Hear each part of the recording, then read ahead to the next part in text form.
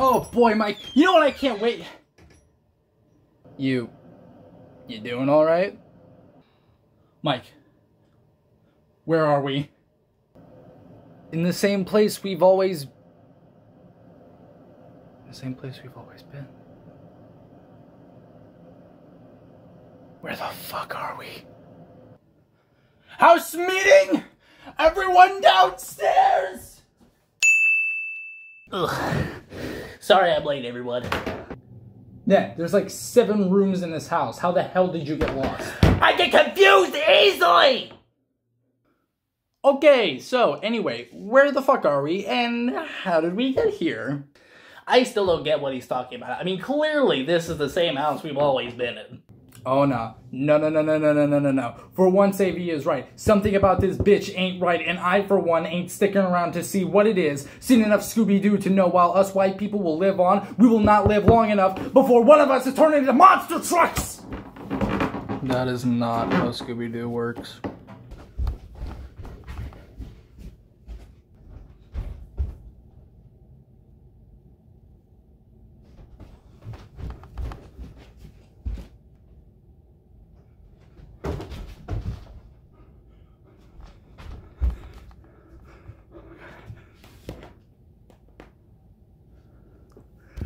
Guys, are we dead? Like hell dead? Like seriously though, I can't do it. I can't do it. We cannot do this. We cannot be in hell right now. Okay, this is fucking bullshit, right? Life is hell for those who live in this twisted world we are forced to call life. Why are you here? Seriously, like why are you here? Are you not hot in that getup you have over there? Who hurt you? seriously, I can't be dead. Don't touch Too me. handsome to be You know, Why the fuck are we in hell? This might be a bad time to mention it, but um, is bullshit. This is fucking. is anyone else excited for Doom Eternal? Why the hell are we in hell? Damn, am I excited about Doom Eternal! Even now that I'm trapped in this purgatorial house, all I can think about is this sweet track from the man, the myth, the legend, Mick Gordon.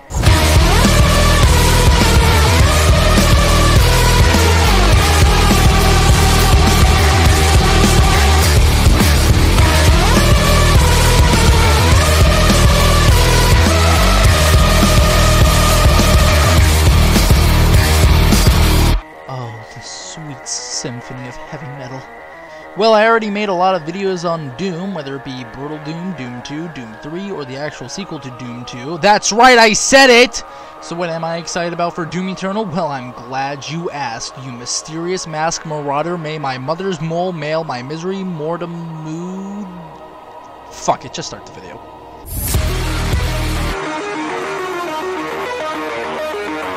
Now, I think it goes without being said that this game is looking pretty fucking dope, and I don't use that phrase lightly. Game journalists, with quotation marks aside trying to play Doom like my mom aside, this game looks fucking awesome. Now, I've heard some swell things about it already, with lucky bastards that got a three hour preview of the actual game, and from those who wasted it being dumb like this.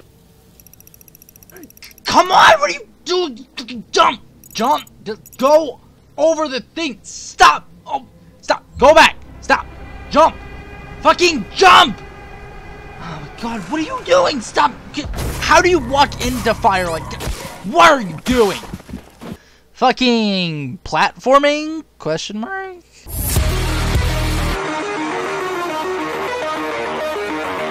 I've heard that besides doing sweet parkour and like following the main path, the only times that these will get annoying is if you're seeking 100% completion as a secret item and bonuses will probably be hidden behind these things and honestly it doesn't look bad, just weird. I'm sure it'll be fine. Guns and more guns.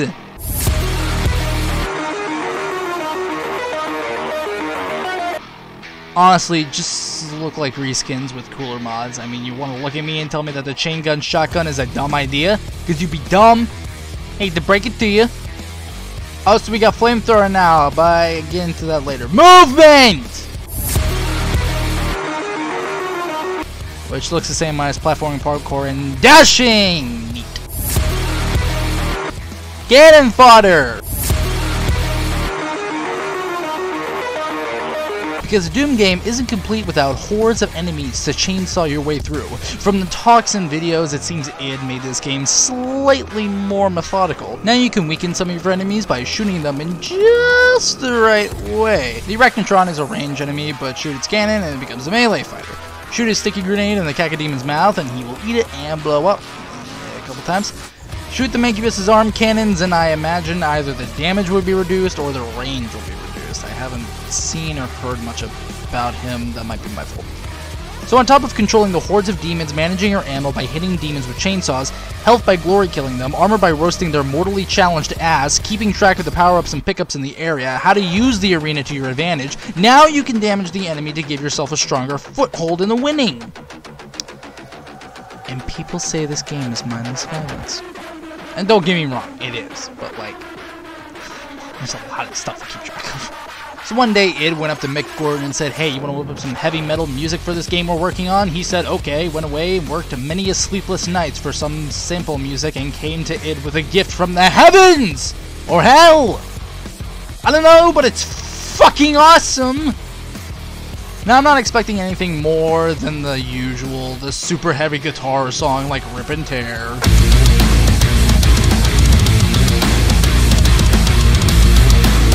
The all-time fan favorite like BFG Division.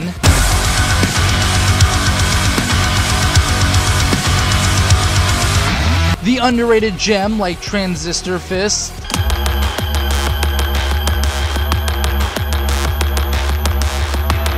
In summary, there's nothing I'm expecting from this department, just more of what I liked from the first game. Which, you know, every sequel should be. No joke, sequels these days are fucking terrible. Sequels in the comments below. Furthermore, stop watching this video and check out the Wattpad! That's the last plug of 2020, I swear. One more thing. The HUD. Probably one of the biggest problems people had with this game besides the Doom Guy grunting.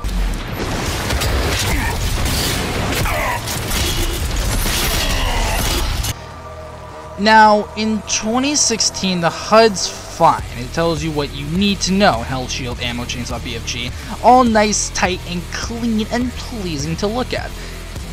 Now it looks like this. Important to note that, yes, Hugo Martin and his team is aware that he is making a video gamey ass fucking video game. Did that make sense? No! Extralized platforming, classic looking redesigns, Ripatorium, I will say that one more time. Ripatorium!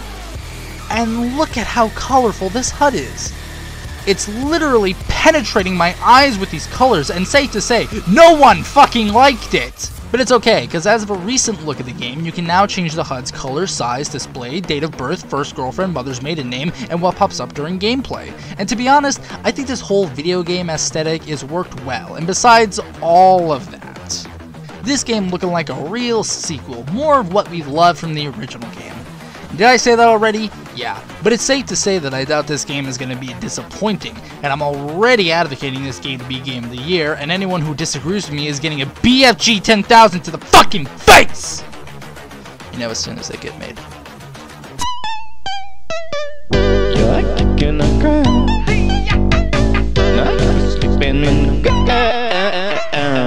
Play chicken and